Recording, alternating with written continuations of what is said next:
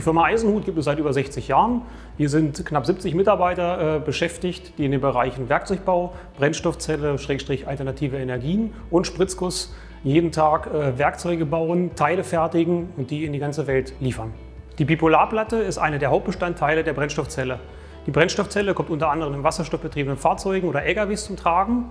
Aktuell ist die Herstellung der Bipolarplatte äh, sehr aufwendig und teuer. Und da letztendlich bestand unsere Aufgabe drin, das Ganze mit vorhandenen äh, Technologien deutlich wirtschaftlicher herzustellen. Wir erstellen das Ganze im Spritzguss auf vorhandenen Maschinen mit selbst entwickeltem Material und selbstgebauten Werkzeugen.